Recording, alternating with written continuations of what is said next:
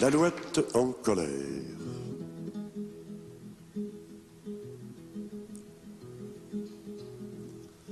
J'ai un fils enragé.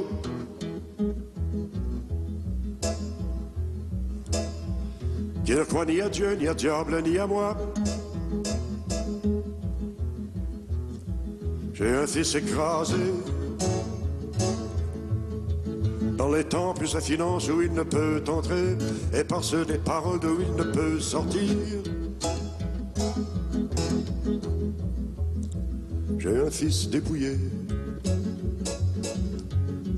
comme le fut son père, porteur d'ossieurs de bois, locataire et chômeur dans son propre pays.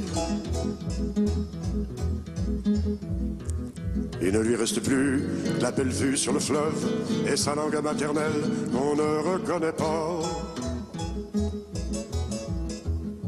J'ai un fils écrasé, un fils humilié,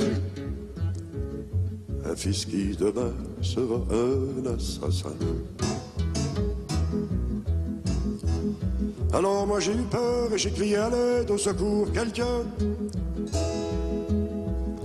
Le gros voisin d'en face s'est accouru, armé, grossier, étranger, pour abattre mon fils une bonne fois pour toutes, et lui casser les reins, et le dos, et la tête, et le bec, et les ailes, alouette. Ah.